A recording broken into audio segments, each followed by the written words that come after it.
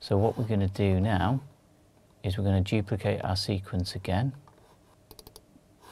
Select the sequence and hit Command D. Uh, that creates a duplicate copy again. Uh, this time I am going to rename it as export for AAF.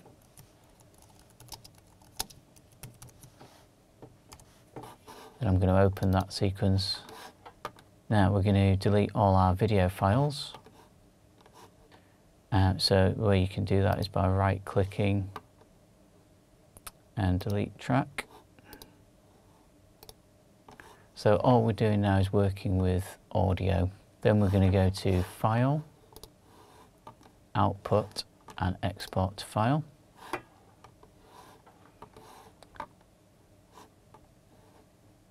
And again we're going to go to Options.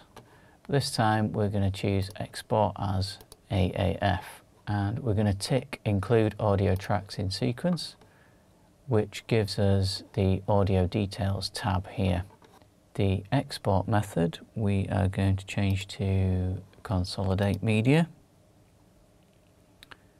And we're going to change the handle's length to 100 frames. And at the bottom of this tab, we're going to look at the media destinations. So for audio, we want to make sure that the option there is for folder and make sure that we have ticked use same folder as AAF file. So we're going to hit save and choose where we want to save it. Um, I'm just going to rename that so I know which one I'm working with. Rock Climber Export for AAF. Save that. And now we're finished in Avid Media Composer, so we can close that down. We can start Pro Tools. Make sure you, you do this first rather than trying to open the AAF file straight from Finder. So in Pro Tools you'll go to File, Open Session and find where you've saved the AAF file. I've saved it here and click Open.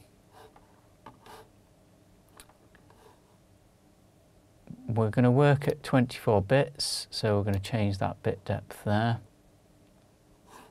Sample rate 48k, that's fine. And interleaved, you can tick that. And choose a location for it. I'm happy with that. So create the session. Um, it's going to give me some options here. Um, I'm going to leave everything as it is.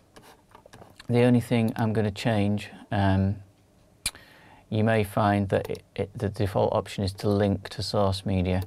I'm going to copy from source media so that all my files are within my Pro Tools session audio files folder. Uh, and then I'm going to hit OK. And just have a look here. So it's imported the audio files as we as we wanted it to. Um, all we've got to do now is import the video. So file, import video, and here we go. So we're going to save it to a new track and we're also going to import the, the audio from it as well as a reference. So OK to that. I'm going to choose the audio files folder to save the audio. And then we can see here, if we open our video window, we've got the reference video file with all the time code um, we can mute the original audio from the video, so we don't really need that in Pro Tools, but it's, it's just as a reference. And then we've got our, um, our audio on separate tracks. Nope. No, it's all good. I'm just seeing. So we've got all the edits um, and um, all our tracks separately if we had more than one track. Um, and so you now you can work within Pro Tools.